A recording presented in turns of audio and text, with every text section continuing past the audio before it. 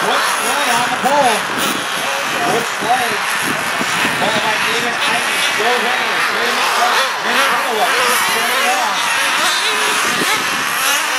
All right, guys. Next time. Going.